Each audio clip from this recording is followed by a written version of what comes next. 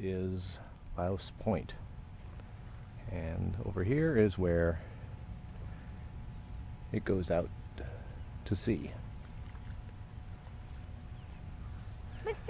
Now, right now, Mr. Bass on? tide is going out. Preferably, we'd like tide to be coming in, but that's not where we're at.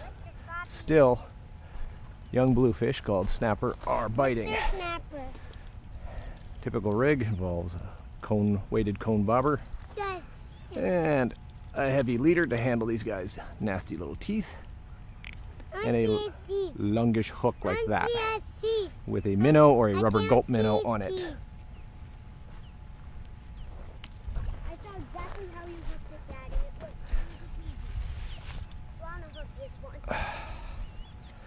When you're hooking the minnows, it's best to go through the eye and then pop the hook into the tail at the back. You don't want to leave too much tail hanging, otherwise the snapper will just tear half the fish off and swim away. Snapper hit aggressively, quickly, and they love motion. catch the fish. See, Dad, you catch the fish. See, Dad, catch the fish.